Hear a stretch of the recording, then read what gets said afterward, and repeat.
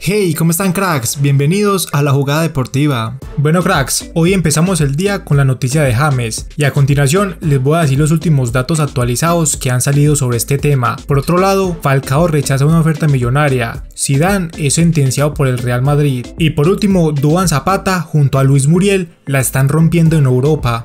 Empezamos cracks con las últimas noticias de James y es que todos nos preocupamos cuando salió en la prensa mundial una noticia sobre una posible lesión y efectivamente Carlos Ancelotti habló sobre esta información en una rueda de prensa. Si no viste el video te lo dejo por acá arriba en una etiqueta. Los últimos datos es que posiblemente Ancelotti lo esté guardando para los próximos partidos y solo esté fatigado por la dura jornada que tuvo este mes. En conclusión gente, solo es una pequeña molestia muscular y lo podremos ver jugar en los próximos partidos del Everton. Antes de continuar cracks, dejen un like si piensan que James merece un descanso para afrontar los próximos partidos. Cambiando de tema gente, Falcao rechaza una oferta millonaria y es que el Tigre no está nada cómodo en el Galatasaray. Falcao ya no piensa en otra cosa sino en irse. Hay rumores de que el Tigre no está para nada feliz en el equipo y está buscando nuevos horizontes. El Inter de Miami, equipo de David Beckham, le ofreció una millonaria oferta solo para que pensara en irse al equipo de Estados Unidos. Dentro de la oferta está un auto Audi último modelo, además en un apartamento en un edificio exclusivo de la zona,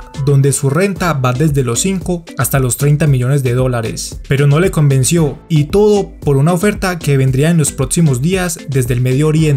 Un equipo de Arabia Saudita estudia la posibilidad de llevarse al delantero colombiano para que sea su nueva figura y pagarle muchísimos millones para convencerlo y ficharlo. Por otro lado, Sian está más que sentenciado, tras haber perdido los últimos partidos con equipos muy inferiores al Real Madrid. La directiva lo sentenció, ya que tendrá un duro reto ante el Barcelona en el Superclásico español. Si pierde Zidane, quedará en serios problemas. Eh, como siempre, es un partido mal, una noche mal y bueno, soy el entrenador, la, solución la tengo que, eh, que encontrar yo y bueno, no la encontré esta noche. Desde ya se mencionan dos nombres para reemplazarlo. El primero es el argentino Mauricio Pochettino y la segunda opción es Raúl González, quien actualmente dirige el equipo juvenil de Real Madrid. Gente, ¿creen que Zidane perderá el próximo partido contra el Barcelona? Dejen abajo un comentario con su opinión que los estaré viendo todos. Por último, cracks, Duban Zapata y Muriel la están rompiendo. En 10 partidos que acumulan en lo que vamos de la temporada 2020-21, los colombianos han conseguido 5 goles y 4